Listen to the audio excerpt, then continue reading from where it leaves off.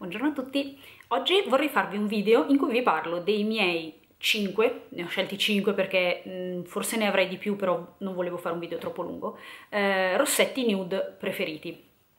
Eh, io non sono proprio un amante dei nude eh, e anzi spesso i nude che scelgo per altri sarebbero già dei rossetti piuttosto vistosi, eh, però ho cercato di eh, trovare quelle nuance che eh, rientrano nella mia comfort zone di nude e che potrebbero piacere eh, anche a qualcun altro, insomma. Eh, si tratta di, vediamo un po', un matitone, due rossetti liquidi e eh, due rossetti classici. Partiamo dal matitone, che è questo della Nude Sticks, che se vi ricordate avevo trovato nel eh, calendario dell'avvento di Look Fantastic dello scorso anno. È questo, tra l'altro molto comodo perché contiene anche... Eh, un temperino, quindi c'è la punta col temperino e la punta che apre il matitone. Il colore, vabbè ve li faccio vedere qui, è questo qui, ed è un malva opaco, comunque un nude sempre un po' freddino.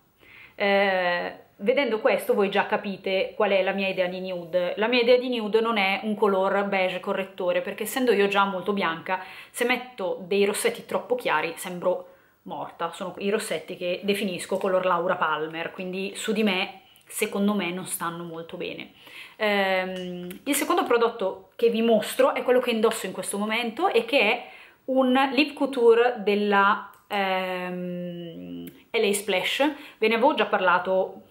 un bel po' di tempo fa, il colore in questione è Latte Confession e a me piace moltissimo.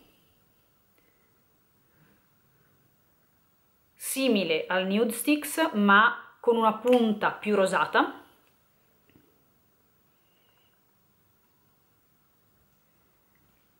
trovo che sulle labbra abbia un effetto veramente bello, non propriamente nude, qualcuno potrebbe obiettare il fatto che questo non sia un nude perché eh, enfatizza fin troppo le labbra, però ecco questa è la mia concezione di nude, dei rossetti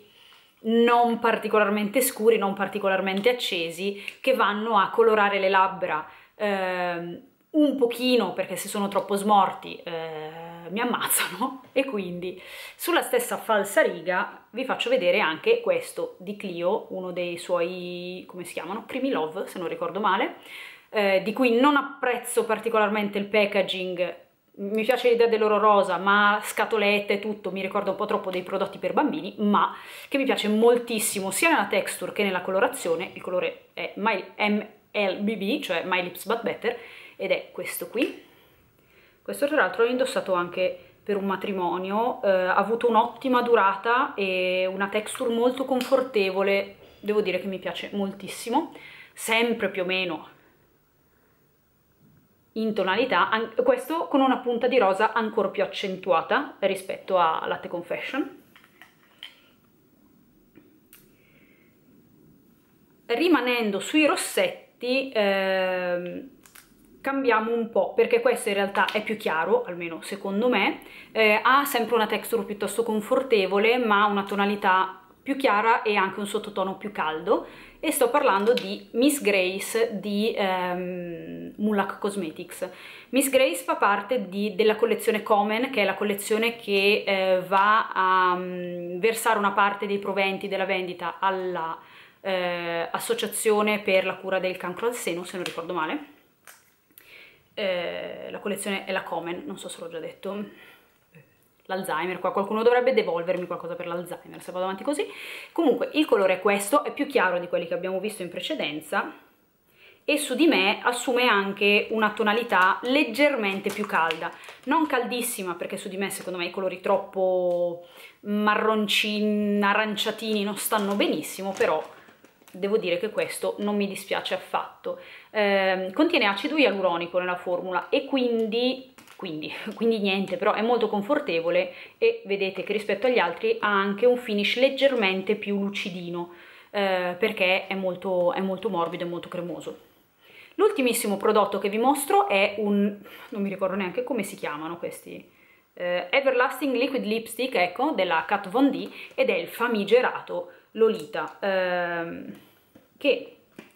risulta piuttosto simile, visto così, al primissimo eh, prodotto che vi ho fatto vedere, ovvero al Nude Sticks, eh, ma che una volta steso sulle labbra, almeno su di me, assume una tonalità malva piuttosto fredda, con una punta quasi di, di violaceo, che a me piace tantissimo e trovo che mm, renda elegante